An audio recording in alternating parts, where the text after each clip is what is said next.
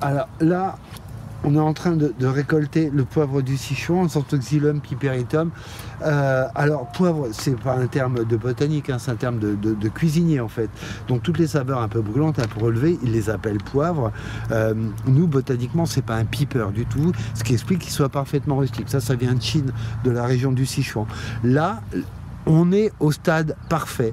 Euh, pour récolter. Normalement, tout devrait être comme ça, c'est-à-dire la graine qui est en train de se libérer du péricarpe. Le péricarpe, c'est l'enveloppe de la graine, c'est ça qui est parfumé. La graine, elle a aucun goût.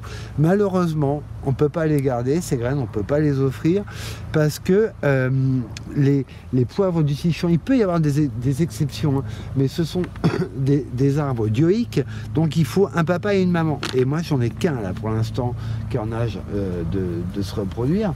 Donc, euh, je sais que là, les graines, de toute façon, elles sont, elles sont pas viables la récolte, elle est un petit peu fastidieuse parce que euh, je sais pas si tu le vois d'ici, mais tu vois, ça nous fait euh, des piquants qui sont tout à fait étonnants. Alors vraiment, le poivre du Sichon, quand on dit qu'il pique, il pique. Hein. Les ah acacias, c'est des bitniques à côté. Hein. Euh, donc, et puis, ce qui est très curieux, c'est que avec le temps, l'épine va lignifier. Ça fait un peu comme un animal préhistorique. C'est absolument magnifique. Il a quel âge celui-là? Il a 6 ans celui-là, donc il n'est pas vieux et on voit que ça donne, hein, ça fructue vachement. Il y en a des très beaux, euh, il y en a un très beau au, potager du roi à Versailles. Donc ça veut dire que ça peut pousser sur vraiment des sols très différents. Euh, il y en a un très beau au bois de Vincennes, donc sur des sols beaucoup plus sableux. Euh, parfaitement rustique, hein, moins 25 degrés, il passe sans problème.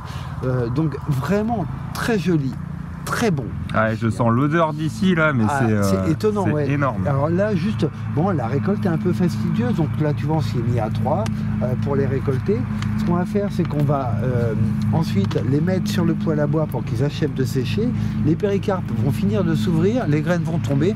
On a un petit peu de tri à faire, un petit peu de vannage, on le fera ensemble. Et puis, et puis après, on, on a conservé à l'obscurité donc à l'abri de la lumière et de l'humidité, euh, deux ans, trois ans après, il est encore très très bon. Et eh ben on se retrouve euh, après pour l'étape 2 Et eh ben avec grand plaisir. Et eh ben je vais vous filer un coup de main du coup. Donc salut Xavier, on s'était euh, laissé la semaine dernière après la récolte du poivre et là, tu l'avais mis à sécher Ouais, alors le truc, déjà, première chose, euh, quand on stocke des graines ou des aromatiques, c'est toujours à l'obscurité. Hein.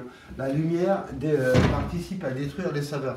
Donc, dernière, il était rouge, il n'était pas très ouvert, mais pourri d'humidité, donc je voulais récolter un petit peu tôt quand même. Euh, donc, on a mis à sécher à côté du poêle dans le tamis, hein, tout simplement. En une nuit, c'est bon. on voit bien les péricarpes qui s'ouvrent, les graines qui seront dedans. Une nuit, pas plus c'est resté bien rouge, ça n'a pas marronné, donc ça a bien séché. Un truc, par contre, tu vas ton mine de côté. Donc maintenant, en fait, on est comme ça, en fait. C'est-à-dire que on a bien notre péricarpe et on a nos deux petites graines à coller qui sont à l'intérieur. La graine, bonne nouvelle, elle n'est pas toxique, elle n'est pas amère. Par contre, elle n'a rien à faire là, elle n'a aucun goût. C'est le péricarpe qui nous intéresse. Donc, ce qu'il faut, c'est réussir à le trier, à mettre mmh. la graine d'un côté, les péricarpes de l'autre. Euh, donc il y, a une technique qui est finalement pas si compliquée que ça, qui demande juste d'avoir un tamis, tamis à maille un petit peu plus grosse, qu'on va pas chercher à faire passer au travers. Hein. Hop, on met, on met, un, peu de, un peu de volume dessus, moi j'en ai mis trop quand même. Voilà, on va monder. Ok, ouais. Monder, c'est séparer euh, les deux justement, les deux parties vont se séparer. Voilà, c'est ça.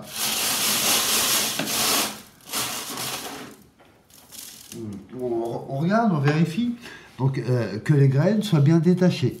Donc effectivement, on a nos petites graines qui flottent là. Attends, je fais le... Voilà, c'est bon. Ah oui. Ah oui. on voit bien que les, graines... Alors maintenant, ce qu'il faut, c'est séparer les deux, quoi. Mais euh, mes péricarpes sont vides, mes graines sont là. Ok. Hop là. Alors...